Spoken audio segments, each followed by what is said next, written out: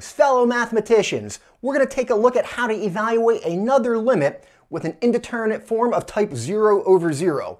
Now to get started, you always want to check that first. So let's plug in x as negative 5. All right, and it's easy to see that your numerator becomes 0.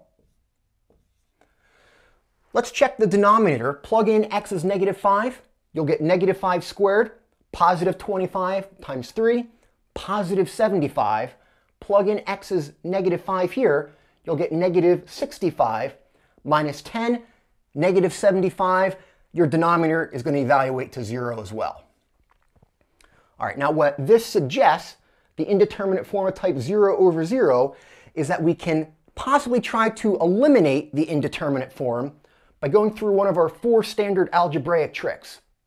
And the one that seems to apply here, we're going to try to factor both maybe the numerator and denominator.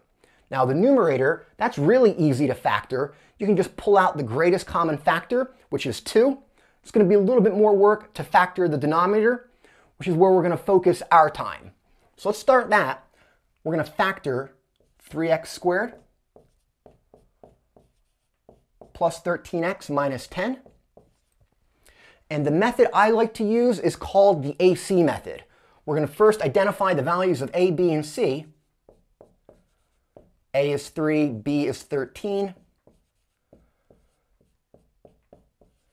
C is negative 10, and we start by multiplying A times C. All right, and that's going to come out to negative 30. And we also look at the B term, which is just 13. All right, now if this is going to factor, we try to take these two numbers and find integers that multiply to AC but add to 13. So think what multiplies to negative 30 and then adds to 13. I think 15 and negative 2 would work. They're going to multiply to negative 30 and when you add them you get 13. Now how we actually use those integers is splitting apart the middle term here and then trying factoring by grouping. So we're going to keep the first term, 3x squared. We're going to use 15 and negative 2 to split apart the middle term, 13x. So we'll write that as plus 15x minus 2x and then minus 10. And what we do now is try to factor in pairs. That's called factoring by grouping. All right, so it looks like here you can factor out, looks like a factor of 3 and x. And looks like that's going to leave you with x plus 5. And then from your last two terms, looks like you can factor out negative 2.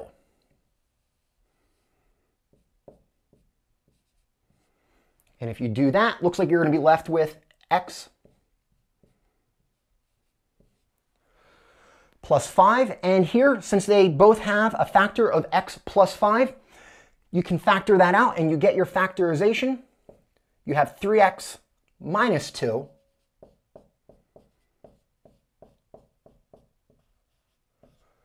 times x plus 5.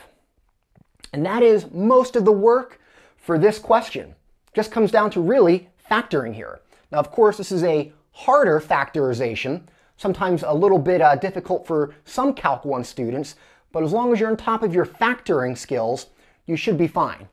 So let's plug that in up here. We just factored the denominator.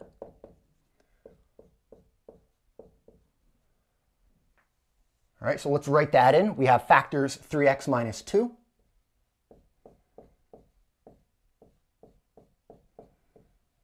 and then times x plus 5. And the numerator, we're going to factor out positive 2 and write that as 2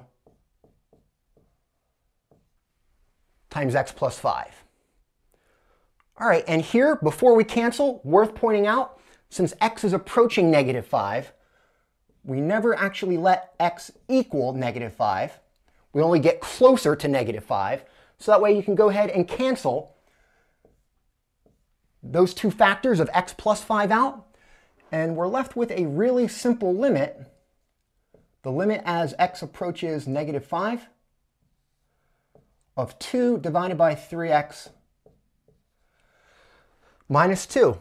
At this point, there's no indeterminate form, so you can just plug in x equal to negative 5, and it looks like you're going to get negative 15 minus 2. Looks like you get negative 17 in the denominator, giving us a limit here of negative 2 over 17. And that's it. Really, this question is really just a factoring question in disguise. And again, as long as you're on top of your factoring skills, this problem should be really simple. Hope you enjoyed the video. If you did, like and subscribe.